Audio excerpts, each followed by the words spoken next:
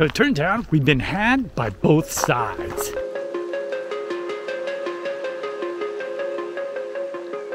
That's right, we've been had by both sides. If you think about it, all this misinformation that goes on, if you consider it a military operation, as the 107 likes to say, and others like to say, then you look at it and we're pawns in all this, meaning the information that's come out, there's been clues along the way which have been wildly helpful in uncovering different things.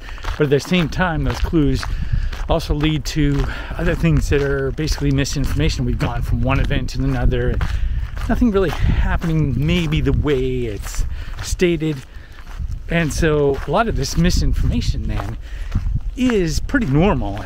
As you know, it looked at World War II, they had a bunch of fake armies and fake tanks, uh, treads in the ground, fake treads, and uh, noises and stuff. It's all designed within misinformation in mind. Again, when things don't happen as maybe they've been stated, then it thickens our skin. We start to realize, oh, we need to dig deeper. Regardless of what source it is, we have to dig deeper and rely on something that's that's a little bit different than what you might be physically able to see. You know, spirit, intuition, alignment with something larger than self, so to speak. The more you connect to who you really are, the more your true light is what you've got to calibrate to. And others don't take it very well. But when it's not bothering you, it'll stop bothering them. If you're bothered by everything that bothers everybody, then everybody's bothered all the time. But after a while, if you're not bothered by it, and they notice you're not bothered by it, after a while, they get tired of being bothered by something that you're not bothered about. Because the whole reason that they wanted to bother you to the point that you were bothered about it was to control you. And when you're not bothered by what they're bothered about then you're free. You want your goat to be ungettable. You want your chain to be unyankable you want your buttons to be unpushable because you've calibrated to who you really are when you calibrate to who you really are you don't have a goat to be gotten so even though they want to get your goat they can't get it they can't get it. They can't yank your chain. They can't push your button because you've calibrated to something else. And now you're not having a tug of war. There's no battle. And in that sense, you can quote unquote survive misinformation and be able to make sense of it without getting derailed or thinking that, oh no, this or that didn't happen. So, you know, this whole thing is a wash. When in fact, it doesn't matter if this or that doesn't happen. Even if, let's say, the one, one big event happens, afterwards, they still have all these other events. It will always be the next event and the event after that, and after that, and after that. And so that you're always chasing the next event. I took a break for a while from the whole thing, and when I came back, not much had changed. I realized that in a lot of ways, the alternative we're kind of going in circles and kind of saying a lot of the same things and not really coming out with anything new.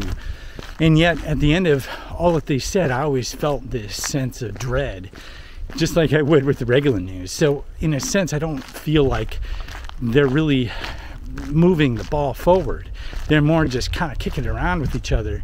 And in a way, you know, defaulting to this old media type where it's like, well, blame it on the other people or show what the bad stuff that's happening. and then an occasional good thing. But the good thing is like you have to read into it so much that it's really hard to say positively that it's a good thing. Like for example, there's smoke in the uh, at the White House uh, lawn. You know that must mean something. You know, and, and trying to to basically from these small little tiny clues get some sort of meaning from it. And so, in that sense, they're just kicking the ball around. And so, when I stopped listening to all that, I realized, you know, life's just going by, right? So, it's not waiting for that one event to occur. It's rather seeing it as already happening. Another way I like looking at it is it's like taking a trip in, RV, in an RV.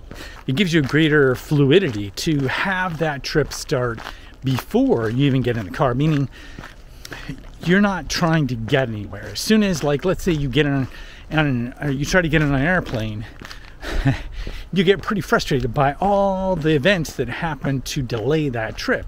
And now those become frustrations rather than being you're already on the trip while waiting for whatever. So that you're not waiting for one thing or another to happen.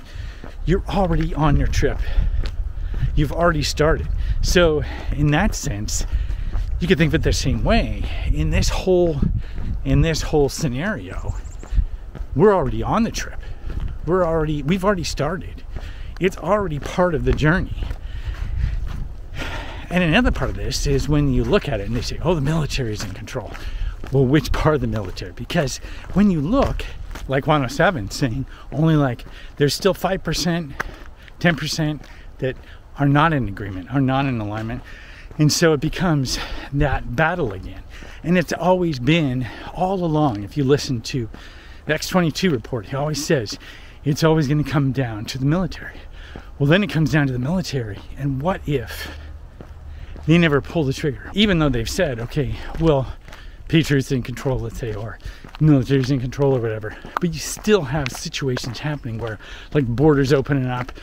There's still decisions that are made outside of their control that affect the whole dynamic. So even though, you know, people are like, well, they don't really have full control, they don't necessarily need full control. They just need part of it and to eat away. And at that, in that sense, I think there's a tipping point for which, you know, if you let it go for too long, there's a tipping point. And 107 talks about this tipping point. Great ruses were put in play uh, by both sides to fool each other about what was possible, what wasn't possible, where it would be, how it would come. But they they both knew that there was a very tight window mm-hmm. to do the assault, um, to have the army moving across Europe um, during the summer months when you didn't have uh, muck and right. goo to go through with tanks when you didn't have these uh, wet areas uh, where the combat favored a moving army, uh, not a dug in army. And so uh, they knew that the battle uh, parameters were somewhat set. There may, may have been some options where the point of engagement would be, how the beachhead would be, uh, you know, built out. But they both knew it was coming and in reality, at this moment in time here uh, in in America, um, the whole world is watching uh, this moment because they know it's not over and it's still coming. I- there was a tipping point for the weather and the tides and so on, and everybody knew that that tipping point was there. So that's a hint that there must be one here as well, knowing what that tipping point is. What's great is things are actually happening on a local level, regardless of what happens elsewhere. You'll see these local sheriffs that have actually made it so that their citizens have a choice. And it's at that level you can make a difference. And you can also see the states are doing stuff, but also links in the description on things you can do. But at the very least, probably the best thing to do is uh, stay in relatively positive mode uh, because that's going to get you further. It's going to help things more than if you just transpire on this downward spiral that leaves you feeling like you would if you watched the evening news. I'm hoping as things go along to have some live events and some more activity on the channel itself. So watch out for that. Um, just hoping to bring some more positivity to the whole thing. And uh, so I'm putting together a few different things that I think will be cool. So watch for that. Thanks a lot, and I'll see you next time.